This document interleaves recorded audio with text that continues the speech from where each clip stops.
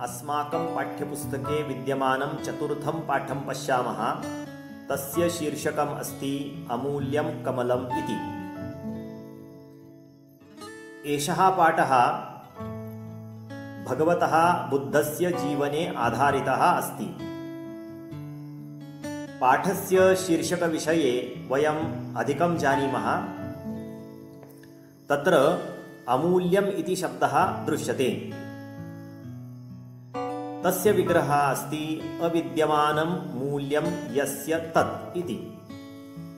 एषः नय्यबहुव्रीहिः समासः अस्ति।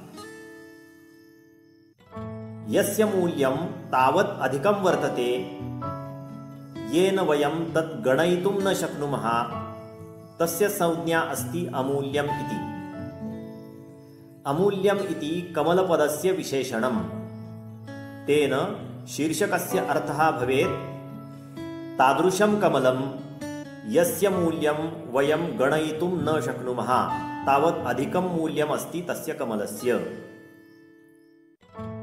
इदानीं वयं गौतमबुद्धस्य विषये अधिकं जानीमः। गौतमबुद्धस्य जन्म ख्रिस्तपूर्वं पञ्चमे शतके अभवत्। तस्य पितुः नाम आसीत् शुद्धोधनः इति।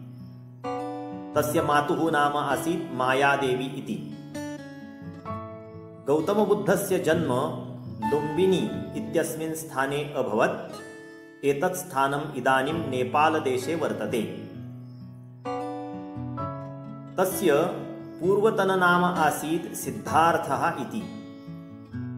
सिद्धार्थस्य वासः शुद्धोधनस्य राजधान्यां कपिलवस्तु इति नगर्याम् आसीत्।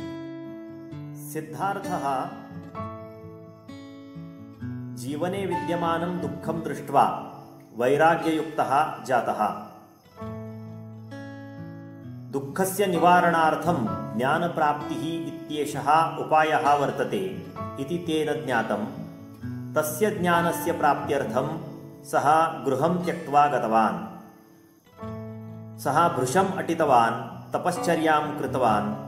अनन्तरं बोधगया इत्यत्र एकस्य अश्वत्थवृक्षस्य अधः, यदा सः ध्यानमग्नः अभवत्, तदा तस्य ज्ञानोदयः जातः।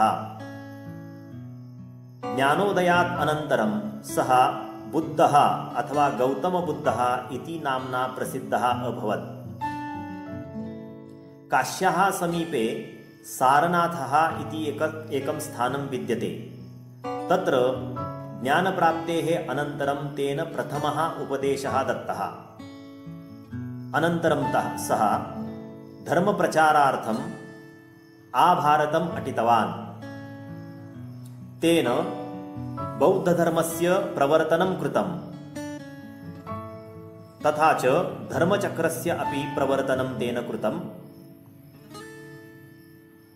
गौतमबुद्धः भारते ये तत्त्वचिन्तकाः आसन् तेषु अन्यतमः वर्तते। बुद्धेन शान्तिसन्देशः सर्वत्र प्रसारितः। वयसः अशीतितमे वर्षे कुशीनगरम् इत्यत्र तस्य महानिर्वाणम् अभवत्। एषः भगवतः बुद्धस्य जीवनपरिचयः संक्षेपेण अस्माभिः दत्तः। साक्षात् पाठं वयं अग्रिमे भागे पश्यामः तावत्पर्यन्तं नमो नमः धन्यवादाः।